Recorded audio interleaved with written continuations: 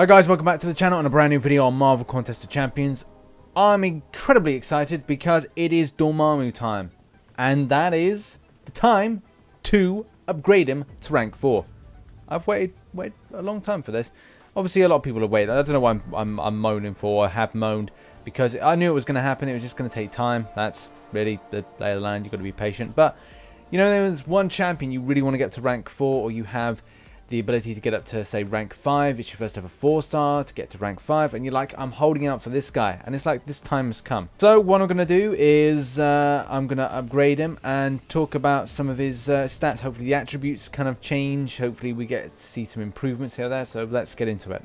So let's start off with the attributes. And obviously as you can see off the bat health is 18,639 we've then got an attack of 1,283 and when we get to the attributes, we can see 14% on crit rating. We've then got crit damage of 150. We've then got armor of 21 and block proficiency of 56%. So kind of not not amazing on certain stats.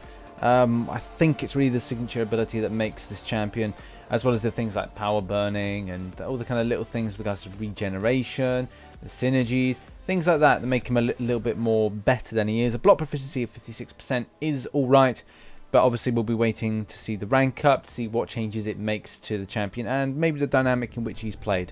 Moving on to his signature ability as well as his other standard abilities, hopefully going to see some changes. Not guaranteed, obviously, with signature ability. It's largely with signature stones that we see and a large increase with regards to that.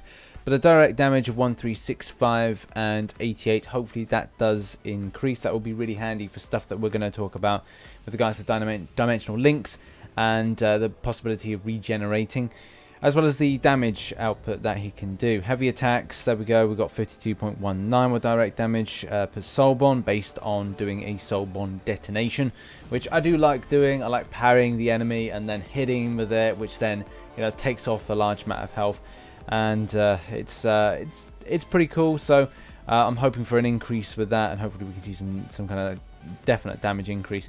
Maybe some increased uh, kind of depleting of the max power. Same thing with power drained. Uh, so, many, so many things I would like to see improved.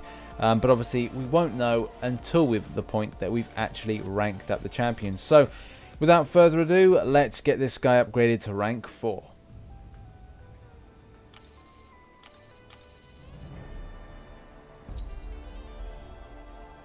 So there we have it guys, Dormammu has been ranked forward and one of the best things about it is having a look at my avatar with the Dormammu and the legend badge, it just looks, oh yeah, it looks really really nice. So I'm going to covet that as a, as a nice thing to see. But now it's time to look at the stats with regards to improvement of the attributes and obviously to start off with we can see that the health has increased from 18,000 to now to 25,000 which is great for the champion as well as the attack has gone up to 1,727 which is great and then when we go up to the other attributes, you can see some small rises in certain places, which, you know, isn't huge, but at the same time, it is alright. Obviously, a lot of these percentages, as it said, is uh, are based on facing a 4-star rank 5 champion, uh, obviously with a challenger rating of 100. These things are just a pain in the butt with regards to challenger rating, but it is what it is. So critical rating has gone up to 14.3, 152.1 is a rise on critical damage rating, 22.5%, uh, we've got a, a, small rise there with regards to armor, not huge, and then a small rise with block proficiency, so obviously I'm hoping in the future these stats kind of improve because I think it is just based on the abilities of this champion that make him better than he is. It's the uh, the other stuff which is just kind of uh, somewhat mediocre. So we've got as well a really good rise with regards to direct damage, with regards to degen. I'm really hoping to add more signature levels to this champion. Haven't been too lucky with my five star signature stones. Hopefully there's a way that we can get them in the future. Uh, but you know, it's it is what it is. If we get them, we get them. If we don't, then meh. Ah, this is really good. The direct damage on a heavy attack with regards to the soul bond, uh, direct damage, I think soul bond detonation, uh, it's gone up from 52.19 to 70.34, which is brilliant. Can't wait to get that into into practice. Uh, nothing's changed with regards to the stats of finisher combo with a medium attack, which, you know, uh, wasn't really expecting it. Again, nothing's changed there. Nothing has really changed at all with regards to the special. So it's not been a huge change, but still it's all about that direct damage increase, which is going to be so much more entertaining to see uh, when, when I kind of put it into practice with that detonation. And if you are interested, it means that last time I think it was 5,219 with regards to direct damage from a soul bond detonation. Now it's going to go up to 7,000 a time. So as long as I've got my parries in place, it's going to be pretty nice. And if that's the case, based on that 7034 damage I'll do from Soul Bond Detonation, it means that when I get the imbued empowered dimensional link buff, that I get 25% of damage of that, which potentially is 1758.5 damage regened to me, which is, well, to be honest, is pretty pathetic. But um, we'll try and put that into action when we're facing off against Winter Soldier in a moment and I'll maybe try and do like a Dark Empowerment uh, synergy team with that as well. Uh, but sometimes that doesn't always work, it's not brilliant, so I may opt for then just doing a team that's going to keep him in longer, maybe a Guardians of the Galaxy team, um, or maybe a Mutant team, that may be better for this circumstance. So I have indeed opted for a Guardians of the Galaxy team based on the block proficiency not being great and also the armor not being great on this champion. I want to kind of preserve this and kind of keep this this kind of game running as much as possible, just so I can kind of have a look at the way that uh, the the champion takes his health back, and regens as well as other stuff. The Dark Empowerment isn't really kind of good enough, and I've just actually realised that I made a mistake in another video where I got a 3-star Dormammu and thought that he got Dark Empowerment as well. That's incorrect information, so apologies uh, based on that. I really could benefit from a 4-star Dormammu, but uh, obviously I've got to use what I've got, and I'm going to use uh, this team to begin with. So let's get into a Winter Soldier battle.